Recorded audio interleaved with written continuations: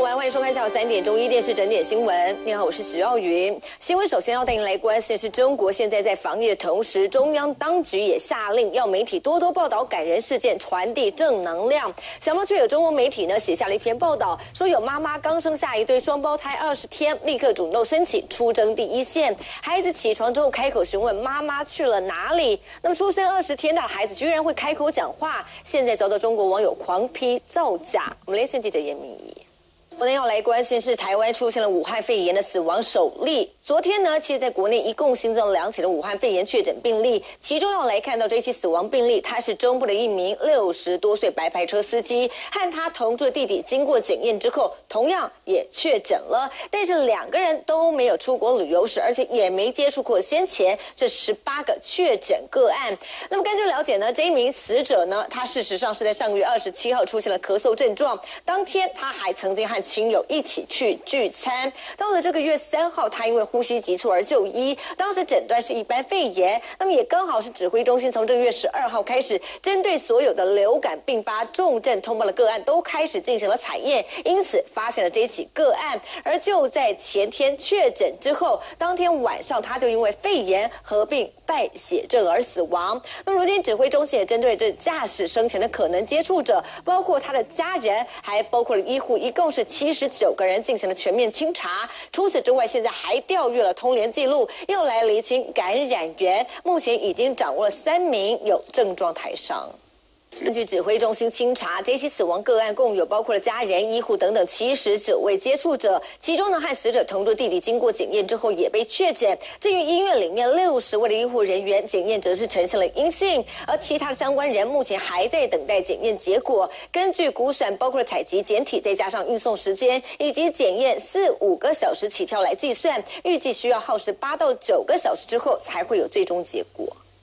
停靠在日本的钻石公主号，目前游轮上确诊人数累计已经达到了三百五十五人，而其中呢，台湾的部分呢，共有三个人确诊，包括了一对，这是先前他们写信向总统蔡英文来求救的父子党。而现在根据统计，在船上一共是有二十二名台湾人，再加上两名的台籍船员。指挥中心说了，目前已经准备包机，计划要把台湾旅客接回来。当然呢，在机上也会安排检疫人员以及医护同仁随时来照顾。返台之后还是需要隔离。但是何时包机出发，目前还要再看日本方面的安排。倒是美国动作很快，在昨天已经派出了专机把公民给撤回去了。而其中四十四人因为确诊要留在日本来治疗，另外还有数十人，他们是因为担心会搭这个包机可能会被潜在的患者给感染，因此他们选择继续留在船上来隔离。但是不管是要留在当地还是搭包机返国，这些人呢在船上的隔离天数一样，通通不算，都必须要再隔离十四天。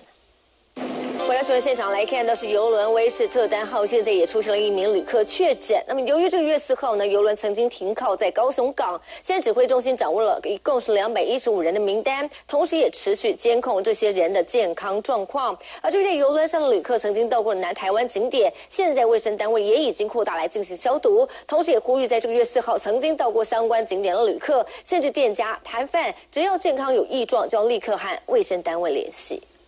上这艘游轮在停靠高雄港的时候，当时还有部分的游客是前往垦丁去旅游。消息传出来之后，当地民宿业者立刻是接到取消订房的电话，同时担心这错过的讯息恐怕会影响到观光。现在屏东县政府也出面来说明了，说垦丁的观光业者早就陆续来启动了防疫措施，截至目前为止没有任何居家隔离个案，也呼吁民众不需要心慌。疫情目前在中国最新数字是持续在增加。目前呢，在中国境内确诊病例数超过七万例，死亡人数突破了一千七百人。而究竟为何病毒会全境蔓延？恐怕跟去年的一场聚会有关。去年武汉举行了一场大型的年会，当时共有多达五千人参加，因此让病毒快速传播到四个省份，还有六个城市。那么除此之外呢，湖北省第二重灾区孝感市现在也宣布从今天开始升级了管控措施，所有居民严禁外出。世界都很好奇，究竟这武汉肺炎的病毒从何而来？而根据了美国一名学者发表了最新研究，他认为新型的冠状病毒就是来自实验室，而非野生动物。那么外传呢，嫌疑最大的就是中国武汉病毒研究所当中的一名研究生，更被指为是首名感染者。我对此呢，研究所发出声明强调，说这一名研究生在毕业之后就在别的省份工作。我网友不相信，希望本人出面来现身说法。引发中国的第一线护理人员，其中呢一批年轻护理师全部剃成了光头，还有医护是在简陋的这个医疗环境当中来照料病患。另外，医院食堂物资不足，也因此上网发文寻求捐助，甚至还有护理师为了要抢救病患，明知道对方可能罹患了新型冠状病毒，但是呢，他还是在没有防护衣的状况之下，跪在地上替对方进行心肺复苏术。国内来看到，就在这个月七号下午，桃园观音间超商呢，当时正在进行这个提款机的补钞作业，想不到一名头戴安全帽的抢匪突然之间持枪闯入，就朝着其中一名保全人员开枪，随后就抢走装有三百万元现金的运钞箱，随即逃逸。警方获报之后，组成专案小组来进行查缉。就在这个月十四号，在桃园芦竹还有台东县逮捕了宋姓主嫌以及古姓共犯，两人被依照强盗、杀人未遂，还有枪炮弹药刀械管制条例等罪。嫌移送法办。同时，中国民众在家里打麻将，遭到邻居检举，就防疫人员冲进家里摔烂麻将。